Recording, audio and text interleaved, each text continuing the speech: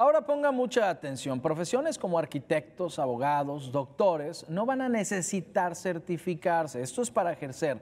Luego de que a partir del año 2023 se hiciera obligatorio que deban presentar sobre todo esta certificación que los avale. Veamos por qué.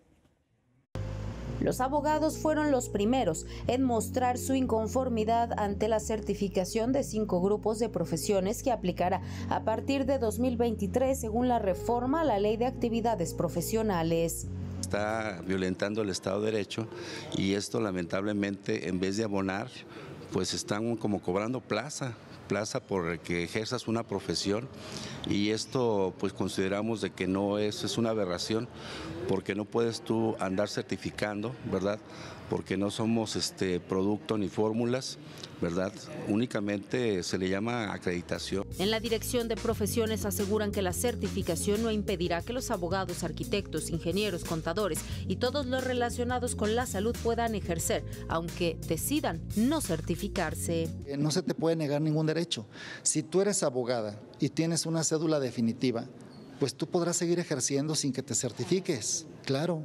Tienes todo tu derecho, nadie te lo va a impedir y vas a seguir ejerciendo como abogada, como médico, si, eres con una, si tienes una cédula profesional definitiva. Si la tienes temporal, que sucede ya a partir de 2018 a la fecha, pues entonces sí tendrás que cambiarla cada cinco años y para cambiarla tienes que certificarte. La Dirección de Profesiones del Estado asegura que buscan evitar malas prácticas y garantizar la actualización. El tiempo pasa, la tecnología avanza y tú tienes que estar al día.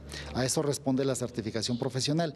Ha habido una inercia de negativa o una negativa porque eh, hay falta de información. Estamos en proceso, todavía no lo concluimos. Aseguró que la certificación no implica realizar exámenes y negó que haya una intención recaudatoria, pues esta medida se tomó desde la administración pasada y costará 500 pesos, la cédula profesional que deberá renovarse cada cinco años. Tú como profesionista llegues con tu portafolio y cada cinco años demuestres en lo que te has actualizado los cursos que has tomado, la actualización que demuestras en tu área de trabajo. Eso es la certificación profesional. Los abogados aseguran que ya preparan amparos. Alejandra Gómez, Fuerza Informativa Azteca.